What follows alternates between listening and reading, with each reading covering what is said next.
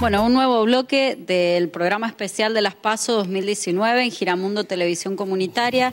En esta oportunidad estamos con Marcelino Iglesias, actual intendente de Guaymallén y candidato por la reelección de la intendencia eh, por el partido de la Unión Cívica Radical. Marcelino, bueno, gracias por acercarte.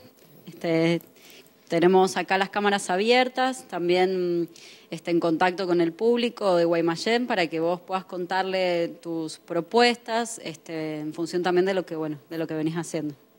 Bueno, muchas gracias Silvana. Mis propuestas básicamente tienen que ver con continuar lo que venimos haciendo. Todos los vecinos de Guaymallén, todos, saben cuáles fueron, cuál fue el punto de partida cuáles fueron las condiciones en las que debimos asumir el municipio, que no se la deseo a nadie, porque no solo era el estado del municipio, sino la falta de información.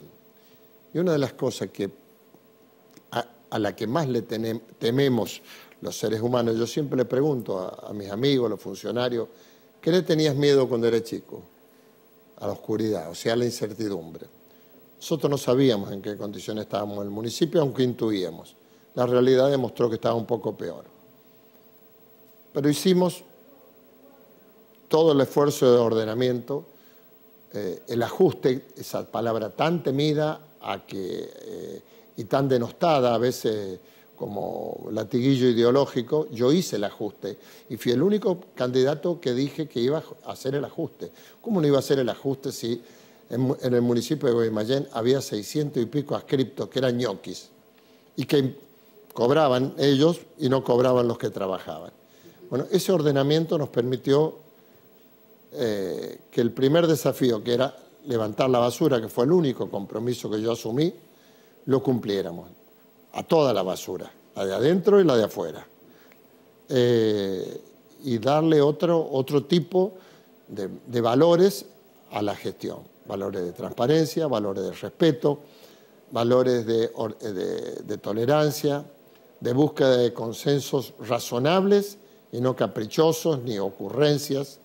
Bueno, esto nos permitió solucionar en poco tiempo el tema de la recolección de los residuos, donde teníamos un parque automotor que era poco más que chatarra, porque incluso las unidades que eran de modelos recientes, por falta de mantenimiento, falta de los servicios, no funcionaban, y dedicarnos a lo que nosotros dedicamos la segunda etapa que fue empezar con el bacheo de las calles primero y después el, asfaltado y el reasfaltado.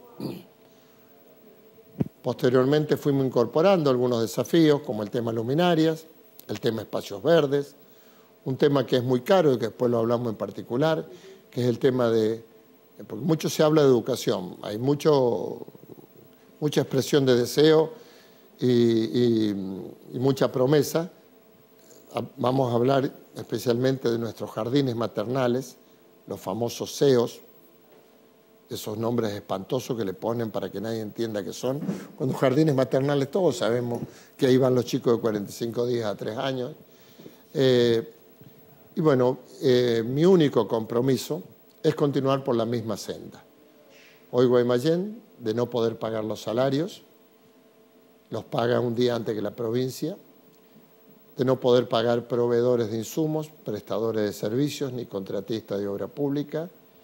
Estamos al día con absolutamente todos y nosotros vemos que cada vez que llamamos a la licitación se presentan muchos oferentes, lo cual le da competitividad, le da transparencia, le da mejores precios, mejores opciones para el municipio. Y hoy tenemos el plan de obra pública más ambicioso de, de todos los municipios de la provincia al día que algunos generan inconvenientes, sí. ¿Por qué?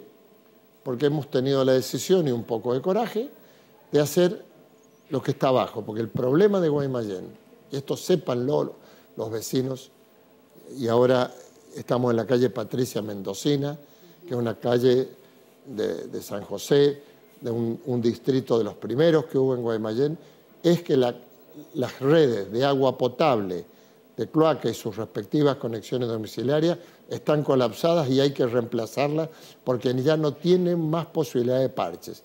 Estas acciones que hacemos en conjunto con AISAM nos generan muchos reproches de los vecinos porque son obras, desde el punto de vista técnico muy complejas, desde el punto de vista eh, presupuestario costosa, desde el punto de vista eh, de temporal son lentas y desde el punto de vista de la afectación al vecino son fastidiosas. Pero es la decisión que tuvimos para hacerlas y si alguien dice que está demorada, sobre todo si es de la oposición, yo digo sí, es cierto, están demoradas, Silvana, porque cuando hubo recursos no se hicieron. Eso te íbamos a preguntar, porque bueno, nosotros salimos a hacer entrevistas con los vecinos, también a hacer notas sobre eventos culturales y bueno, en una de las notas nos encontramos con vecinos del Carril Godoy Cruz que bueno, estaban como muy necesitados de una respuesta vinculada al tiempo sobre las obras públicas y bueno, te la trasladamos ha sido, Ha sido una molestia pero había que hacer una transformación. Hoy el Carril Godoy Cruz es por lejos el más funcional y hermoso de la provincia. Si uno lo compara con la calle San Martín de Godoy Cruz, acá se hizo algo de fondo, porque, se cambiaron las redes de cloaca y agua potable. Yo quisiera haber traído una foto para mostrarle lo que eran los caños de agua, muchos oxidados, o sea que esa agua no era tan potable la que consumían los vecinos de la zona del Carril Godoy Cruz. Hoy está demostrado, ya está habilitado hasta Jaime, calculamos que en 10 días, 12 días más se habilita hasta la calle San Lorenzo y ya comienza la etapa hasta la calle Avellaneda. Bueno, son los procesos de cambio, pero de cambio profundo. Eh, podríamos haber hecho una hermosa carpeta fáltica, pero hubiéramos estado engañando a la población porque lo que está eh, en verdadero mal estado está abajo. A mí no me afecta que si mañana se hace un bache porque hubo una falla en el asfalto o porque hubo un pequeño falla en el asentamiento, no es problema, eso se repara rápidamente. Pero cuando uno tiene que meterse en la vena profunda de América Latina, como decía Eduardo Galeano, o sea, eh, adentro de la tierra, ahí se da cuenta la falta de inversión que hubo durante años en este municipio. Bueno, Marcelino, te agradecemos por haberte acercado eh, y participar de este programa. No sé si te queda algo más para aportar. La idea es que bueno que todos los partidos tengan su espacio y puedan expresarse y en caso de digamos de y pasar las pasos volver a invitarlos y a reforzar también la propuesta. No hay ningún inconveniente ni ningún problema.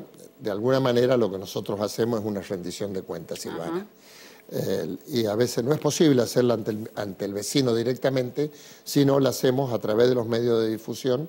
Por lo tanto, aquí estoy y aquí estaré cada vez que me requieran para explicarle qué hacemos, por qué lo hacemos, cómo lo hacemos y con qué lo hacemos. Eh, porque en definitiva somos mandatarios, es decir, tenemos mandantes que son nuestros vecinos. Bueno, muchas gracias. Quédense ahí, nos quedan más bloques para el programa especial Paso 2019, Giramundo Televisión Comunitaria. Agradecemos a las cámaras, al sonido y a Claudia y, a la otra señorita que también acompañaron a Marcelino y conocieron el canal. No se vayan.